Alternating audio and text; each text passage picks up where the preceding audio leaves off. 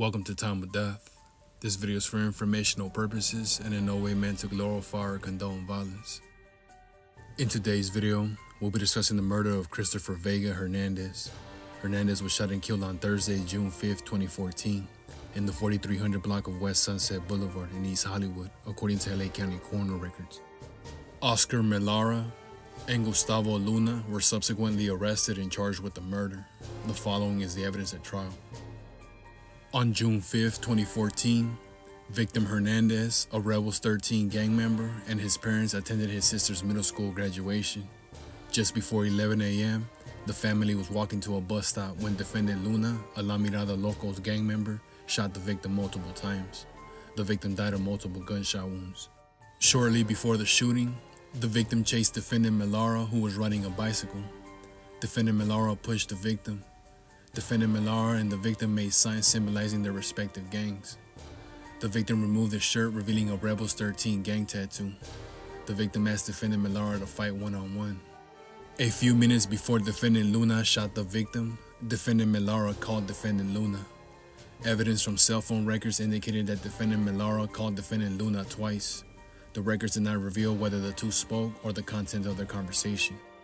Immediately before defendant Luna shot the victim, he drove up to defendant Melara and stopped to talk to him. Defendant Luna then drove up to the victim who was standing on the sidewalk. Luna shot the victim and drove away. Cell phone records suggest that defendant Melara entered defendant Luna's car shortly after the shooting because defendant Luna's phone and the phone defendant Melara was using traveled on the same path at the same speed to Oceanside, California. Video surveillance of the crime scene showed the victim and his family walking near a Del Taco restaurant on Sunset Boulevard. It further showed the victim chasing defendant Melara, who was riding a bicycle. The victim then returned to his family and they continued walking together. Surveillance video depicts the following sequence of events. Defendant Melara is holding a phone to his head while riding his bicycle. Shortly afterwards, a black car enters the Del Taco parking lot. Defendant Melara approaches the black car and then points towards the victim twice. The black car pulls up to the victim and his family. The driver shoots the victim. It appears that defendant Melara is present when the driver shoots the victim. The victim falls backwards to the ground. Officer Mark Austin testified for the prosecution.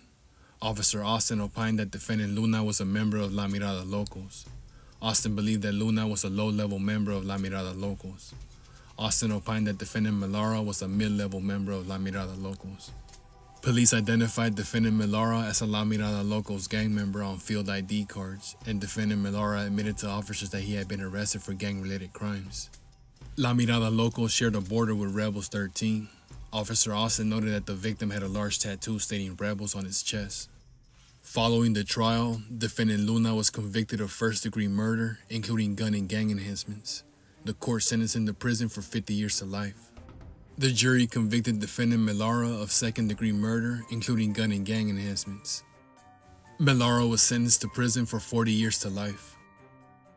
Christopher Vega Hernandez was 19 years old at the time of death.